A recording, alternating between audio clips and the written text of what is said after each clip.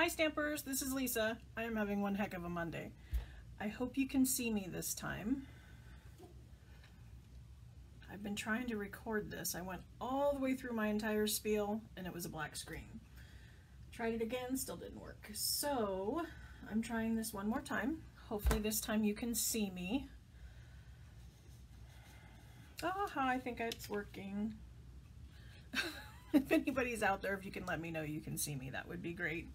Um, I want to thank you for coming in to join me today. I've been trying to try something new. It's just popping in here on Facebook to do a Facebook Live. Um, I'm just kind of picking things out of the air. So if there's something that you would like to see or um, a stamp set you're having issues with, something you want me to show you how to do, um, let me know. That's what this is here for. Um, today we're just going to play around with watercoloring, um, a couple different techniques, and then we're going to make a card. I've got this really cute little mermaid card. If I can figure out the way to go. Um, so we're going to make this card today and just um, play around with some techniques. So let me switch up the camera so you can see my desk. Here's our card. Thank you for hanging in there with me. And I apologize, technology's just definitely a Monday today. Um, anyway, this is the card we're going to make. Um, and this is another watercolor technique I'm going to show you. Um, there's a couple different things we can watercolor with. Um, and this one's done with our Stampin' Write markers. And this I just wanted to show you because someone else um, recently did a um, Facebook Live and they were playing around with Flair markers and adding a little bit of water on some watercolor paper and they said, oh yeah, any watercolor, um, any water-based um, markers will work. And I thought, hey, our Stampin' Write markers, they're water-based. So let's try those. And actually they worked really well. Um, they did not work so well on the shimmery white papers. You can see that left some definite lines here. Not what I wanted. Um, but when I did it on the watercolor paper, it blended really nicely. So I'm going to show you how I did that. Um, the Stampin' Write markers I have here are Pumpkin Pie, Mango Melody, and Crushed Curry. And I've just used some post-it notes, and I've um, kind of made a sun um, out of a circle. I've masked it off, um, so that's going to stay white for me while we color. And then this is just going to make it so that we can create the skyline up here and have the land down here. All I did was I took the marker and the brush end and I just kind of laid down some color. I just kind of scribbled a little bit. And then I came back in with another color to kind of do my gradient. And then I came in with the final color to do the background. And it looks awful right now, but the basic idea is we're just adding color to the paper. And then I'm going to bring in the um, aqua painter and we're going to add some water to it. Um, you could also do it with our Stampin' Spritzer as well. You know, if you wanted to just start off that way, we can do that. And you can see as soon as water touches it, it starts to blur a little bit. And then you can just kind of bring in your brush, your finger, anything, just kind of spread around the color. And you get a really pretty effect. So anyway, I was very excited when I figured out this worked because we always like to have um, multiple uses for our tools. I mean, we spend a lot of money buying all these craft supplies. It's great when we can find another use for them um, and get more bang for our buck. So um, that's just kind of how that worked. Um, after it was done, I peeled off this and I came back in with the dark marker again and colored in the sun. You know, ideally you might want to wait till everything's dry, but I'm just trying to give you guys an idea here of how this works. Um,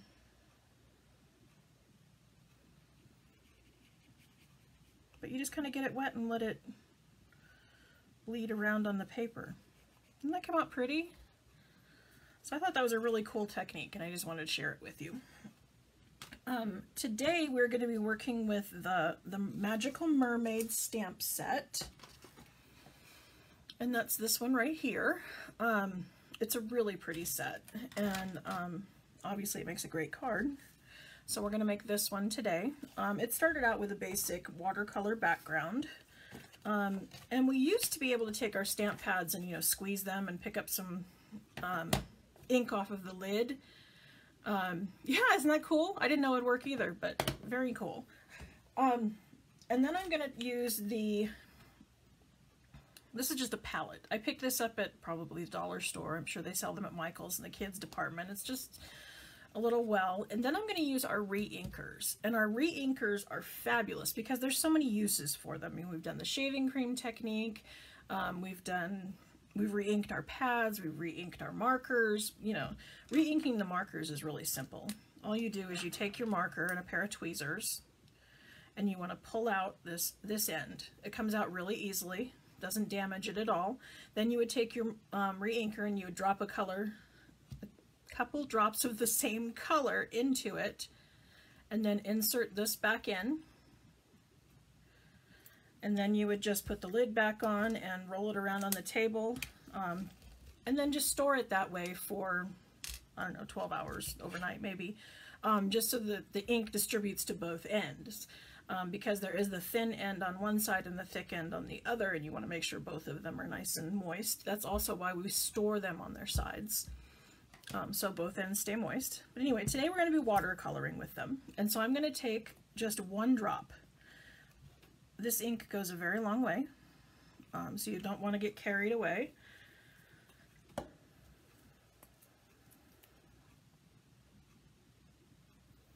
Oops. And there I go, getting carried away. And then I'm going to take the aqua painter and I'm just going to add some water to it. And how much water you add depends on how dark you want the color to be. You know, the, the, the lighter you want it, the more water. And this one's really dark because I did two drops. I didn't mean to do that. Um, so I'm going to add lots of water. And then we're going to come in and we're just going to smear it around on the bottom. And I'm just kind of laying it down, swiping side to side, um, you can always add more if you want. And then when I'm done with the crumb cake, I'm just going to wipe it off till it's clear. Then I'm going to come over here and pick up the pool party. And then I'm going to do the same thing. I'm just going to swipe back and forth. And again, because this is watercolor paper, it's just blending beautifully.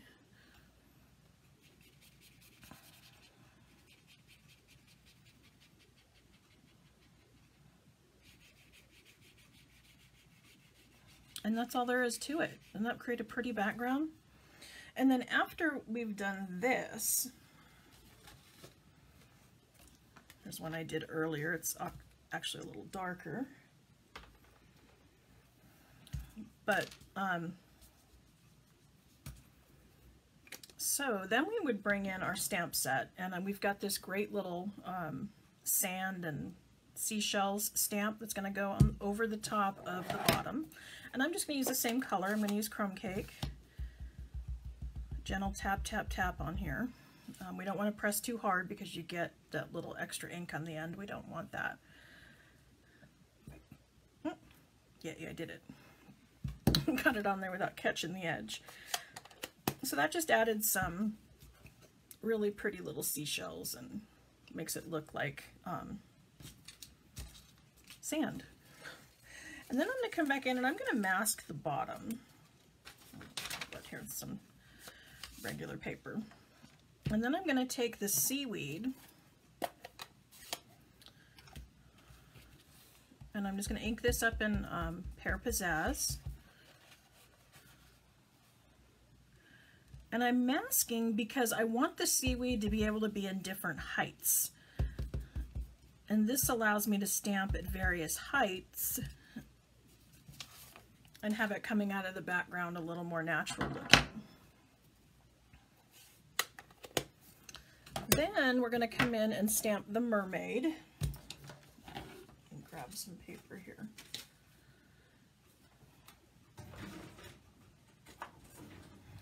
And I'm going to do this in a no-line watercolor technique. And what that means is I'm going to use um, Sahara sand which I had on my desk a second ago.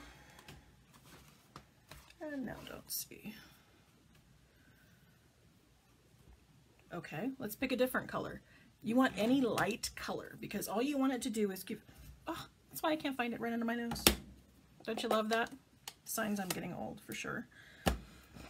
Anyway, back to what we were doing. I'm to take the um, mermaid and I'm to ink it up with Sahara sand. And I'm using Sahara sand. You could use So Saffron, you know, anything that's really light. Because what we're to do is we're to ink her up. We're going to stamp on some scrap paper. And then we're going to come back and stamp onto the cardstock. And it gives a really faint look. As you can see from far away, you can barely see it. Um, and that's what we want because we really want the watercoloring to stand out and not the stamping on this one. So then I'm going to bring in our watercolor pencils. And this is the first set that we did. Um, it's got, I think, 10 different colors. 10, oh, 13 different colors. We got a bunch in here. Um, but they just added a second set um, that's only available during August. And so if you really like watercolor pencils and you think this is a cool idea, you might want to get more. Um, and they're only available in August, they're telling us. So you might want to jump on that. Um, and I'm just going to take the, the um, this one's Bermuda Bay, and I'm going to go ahead and just add some to her tail here. And again, I'm not being really exact because I'm just kind of laying down color. And then I'm going to come back in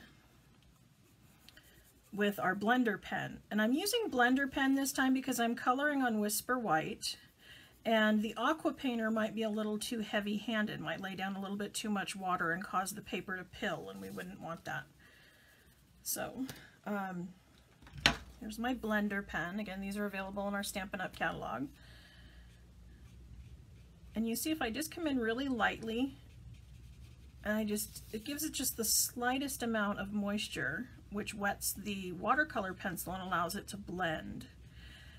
And they are specifically designed to do this, so you couldn't really do this with your standard um, water or your standard Crayola pencils. You would want something that specifically said it was watercolor, and that allows you to add this moisture and spread it around. And I like it because then you don't get the little lines that you get when you normally color with pencils.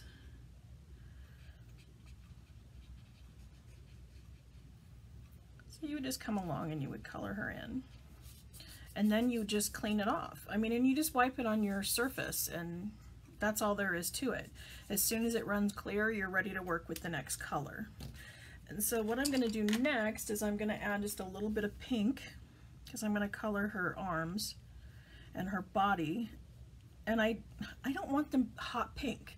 I mean, and that's what this is but I don't have a skin tone in that set, so I'm using the hot pink, and then I'm going back in with my blender pen and just coloring it, you know, taking that pink and spreading it a little thin.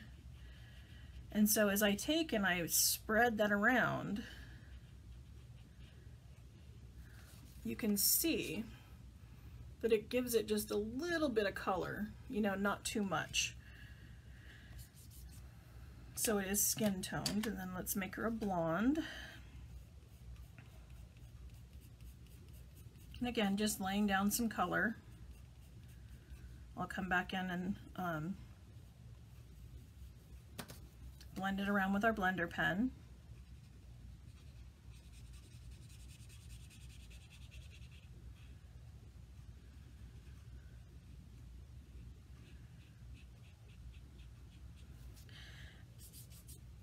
And then um, I wanted to do the little hair thing she has in the Bermuda Bay, but I want it a little bit darker. And so what I'm going to do is I'm going to bring in um, my palette again. I'm going to add some water, just plain old water um, to one of them. And then I'm going to dip the end of my pencil into the water and it just makes the color a little more intense. So when I come in here and paint with it when it's wet, I get a much darker color.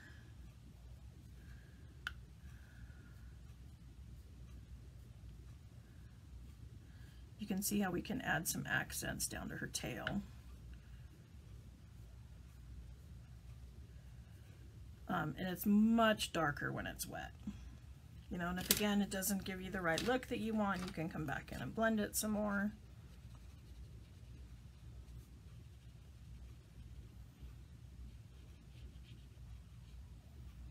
And I'm not being too careful about staying in the lines because I'm going to go ahead and fussy cut her. I like her popped up a little bit.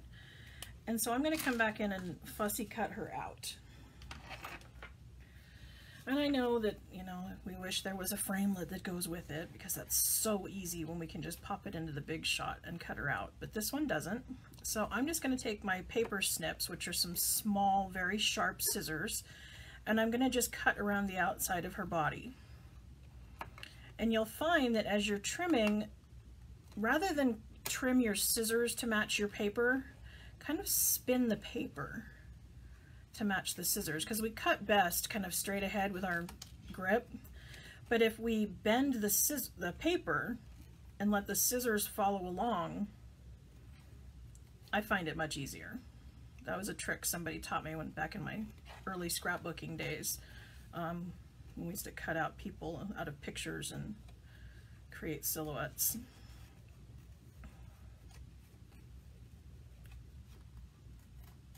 And then with her hair, I'm just going to go ahead and crop a little wide for now. And then I'm going to come back in and again get close to her head. And I'll show you why I did her hair that way. I'm not going to leave it that way. But there's so much detail there and it's so small. I just really didn't feel that I could get in there and um, do her hair justice. So what I'm going to do is come back in and I'm going to cut little, like, I don't know, wedges, triangles, I don't know what you want to call it. But I'm going to come in from both sides. I'm going to come in from um, the top at an angle and I'm going to come in from the bottom at an angle and then pop out that extra piece. So again, from the bottom and from the top, and from the bottom and from the top. And just go along and cut little wedges. And that gives me the wispy end to her hair that she's, you know, intended to have.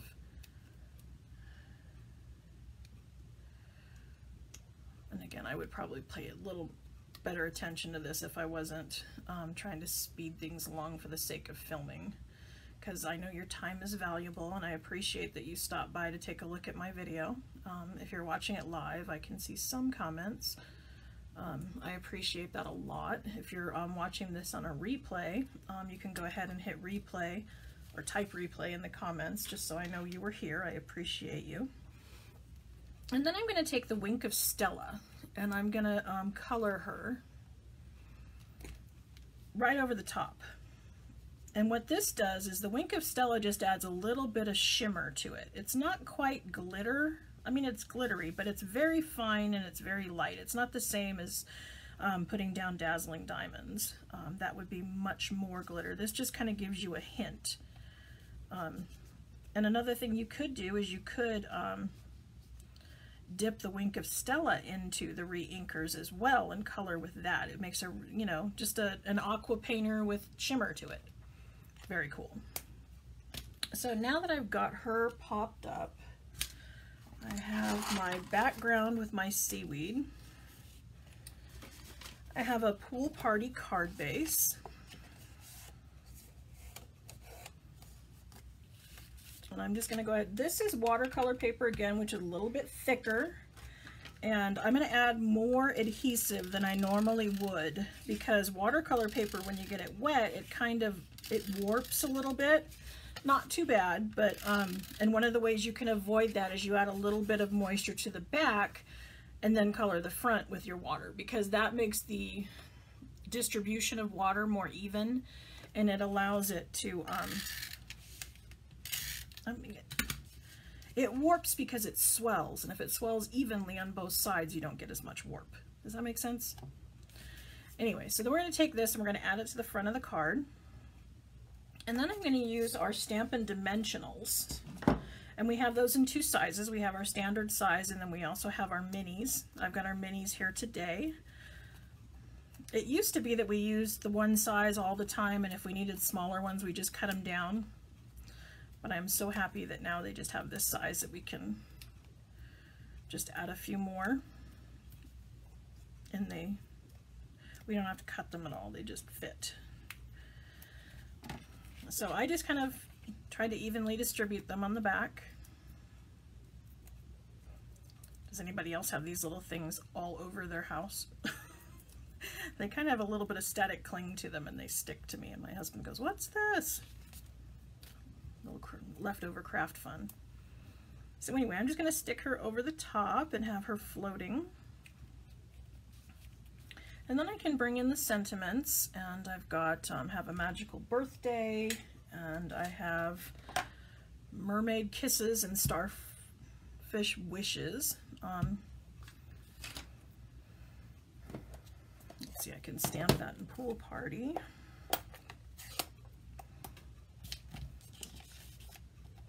Let's see, I think I have room out here.